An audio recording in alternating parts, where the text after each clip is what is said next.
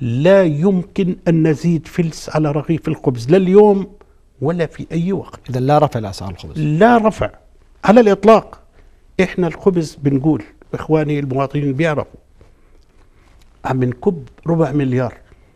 ربع مليار 250 مليون, مليون دينار. كل المشاهدين اللي بيخالفني مسؤول أمام الله هو بيعرف هو ضميره. بنكب الخبز ولا لا؟ بنعطى للمعزه ولا لا؟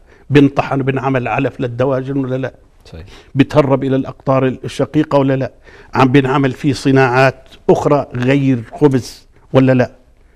طيب قاعد بتسمن ال- ال- ال- الحيوانات وتباع إلى دول الجوار. طيب يعني أنا لما يكون 250 مليون فرق سعر بنكب في ال في أجلكم الله في ال في, ال في التراب برا أنا مش بيقبلوا مني المواطنين إني اغرش وأقول يلا توكلوا على الله أنا مش مستجري أعمل شيء يعني هون شو بدكم أنا ما؟ بدي أزيد الخبز وهيني بعلن لن يزاد الخبز لا اليوم ولا في أي وقت. شو بدكم تعملوا لها؟ إحنا بنقول مشان توفروا ال 250 كل مواطن أردني نعطيه فلوس دنانير.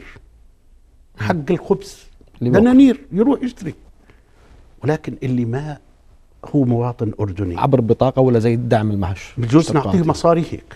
وبجوز نعطيه بطاقه زي وبجوز نعطيه على المحروقات. زي نظام المحروقات. مش مشكلة عندي. أنا بوصله إله هم بيعرفوا إنه إحنا لما نقول بنوصل إحنا صادقين. بنوصل.